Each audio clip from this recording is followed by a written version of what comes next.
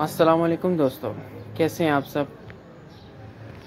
Welcome to my channel D W T technical आज हम बात करेंगे सानियों के कुछ एरर कोड्स के बारे में। सानियों की top load automatic washing machine है। इसका मॉडल नंबर है A S W A eight five H T तो मैंने ये जैसी पावर ऑन की तो ई ए एरर कोड आ रहा है। सानियों की टॉप लोड वाशिंग मशीन पे। तो बात करेंगे ये ई एरर ई ए एरर क्यों आता है? सानियों की टॉप लोड वाशिंग मशीन पे। तो ई ए एरर कोड इस वजह से आता है फ्रेंड्स के जब आपका वाटर लेवल सेंसर या प्रेशर स्विच जिसे हम कहते हैं, वो ख़राब हो जाए या उसकी कोई वायर डिस्कनेक्ट हो जाए तो तब ये ई ए एरर कोड आता है। गैस जो इसका वाटर लेवल सेंसर जो होता है, वो इस तरह टॉप पे ही लगा होता है। वो कुछ देखने में इस तरह से होता है। गैस ये ऑटोमेटिक वॉशिंग मशीन में वाटर लेवल को मेंटेन करता है। और ये two point water level switch है। जब इसकी कोई वायर डिस्कनेक्ट हो जाए या ये खुद ख़राब हो जाए तो ये ई ए एरर कोड आता है। गाइज़ ये ई ए एरर कोड का फॉल्ट पीसीबी की वजह से भी आ सकता है। तो बात करेंगे गाइज़ इसके यू फोर एरर कोड के बारे में। तो वॉशिंग मशीन को जब आप स्पिन पे लगाते हैं तो आपको एक एरर देखने को मिलता है।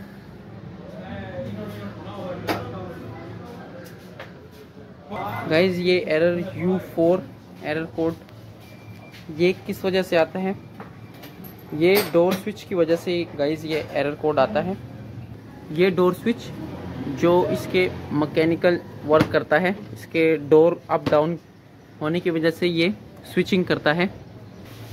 गाइस कुछ इस तरह से इसके डोर स्विच में ये स्पेस आ जाता है। आप देख सकते हैं ये स्पेस ये स्पेस आने की वजह से ये सही से वर्क नहीं कर पाता। गाइज़ ये स्पेस आ जाने की वजह से ये करंट पाथ मुकम्मल नहीं हो पाता जिसकी वजह से डोर स्विचिंग सही से हो नहीं पाती है।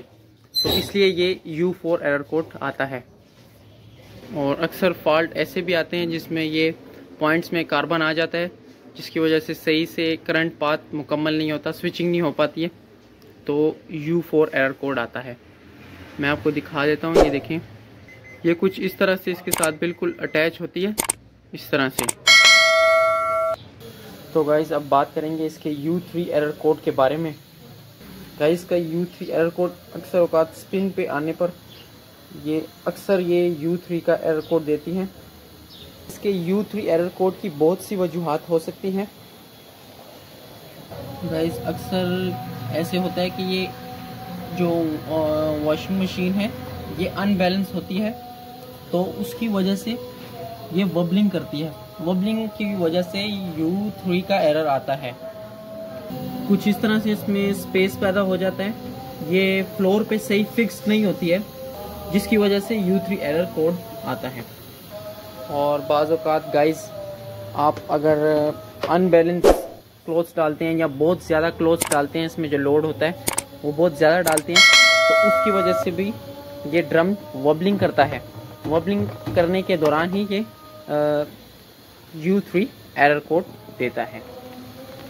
और इसके ये बहुत कम रेयर केसेस आते हैं, जिसमें इसका जो वाटर बैलेंसिंग रिंग में जो वाटर होता है, जो सेंट्रीफ्यूगल फोर्स को मेंटेन करने के लिए होता है, ताकि ये वेबलिंग ना करे ड्रम तो उसमें अगर किसी वजह से पानी लीक हो जाए, पानी उसका निकल जाए तो उसकी वजह से तब ये ड्रम बहुत ज़्यादा वबलिंग करेगा। और जिसकी वजह से ये यू थ्री एरर कोड आएगा।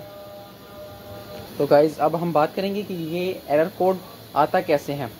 वॉशिंग मशीन को कैसे पता चलता है कि ये ड्रम वॉबलिंग कर रहा है? कैसे पता चलता है? वॉशिंग मशीन की बैक साइड पे एक बैक कवर लगा होता है। उसको आप खोल लेंगे। खोलने के बाद आप ये इस कॉर्नर में देखेंगे। जहाँ पे डोर डोर स्विच इंस्टॉल होता है, उसी कॉर्नर में देखेंगे आप कि ये इस तरह से एक लिवर टाइप लगा होता है इसमें। वॉशिंग मशीन का ड्रम कुछ हद से ज़्यादा वॉबलिंग करे तो वॉशिंग मशीन का जो ड्रम है, कुछ इस तरह से लीवर को हिट करता है, देखिए। तो इस तरह से इस मैकेनिकल फोर्स से यहाँ से देखें, ये कुछ इस तरह से वर्क करता है और ये डोर स्विच को कुछ इस तरह से सिग्नल देता है, ताकि ये ताकि जो इसका ये डोर स्विच है, ये डिस्कनेक्ट हो जाए और ये U3 का एरर कोड दे दें। अगर आपको ये मेरी वीडियो पसंद आई हो, मेरी वीडियो को लाइक ज़रूर करें, मेरे चैनल को सब्सक्राइब करें और आपको कोई क्वेश्चन पूछना हो मुझसे इस top load washing machine error codes के बारे में तो आप मुझे कमेंट कर सकते हैं। मैं उसका आंसर आपको ज़रूर दे दूँगा।